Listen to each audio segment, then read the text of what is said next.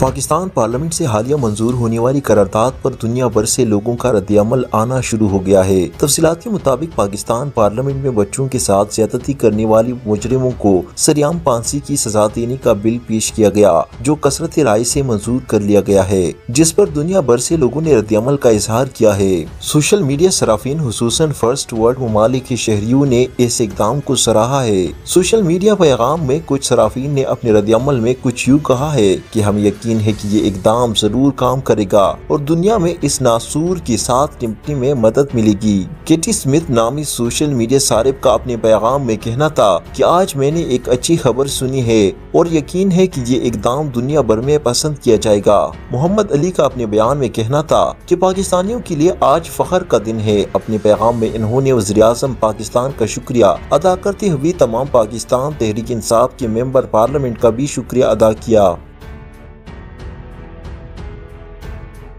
اس video کے نیچے دی گئی سبسکرائب بٹن کو دبائیں اور ساتھ میں بیل آئیکن کو دبائیں۔ ویڈیو کو لائک کریے شیئر کریے اپنے دوستوں کے ساتھ میسنجر پر، فیس بک پر اور واٹس ایپ پر۔